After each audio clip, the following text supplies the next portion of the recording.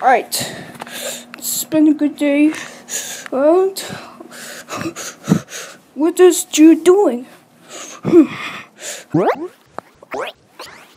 are you? Um uh come on. Oh.